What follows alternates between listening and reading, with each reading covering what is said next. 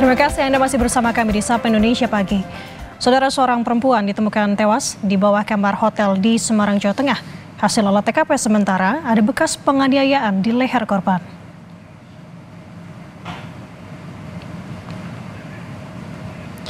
Jenazah perempuan tanpa identitas ini ditemukan di kolong tempat tidur. Hasil olah TKP sementara ada bekas luka cekikan pada leher korban. Menurut petugas hotel saudara, korban telah menginap selama tiga hari. Karena batas waktu menginap sudah habis, petugas berusaha membuka pintu dengan kunci cadangan. Petugas pun menemukan korban terkelungkup di bawah tempat tidur.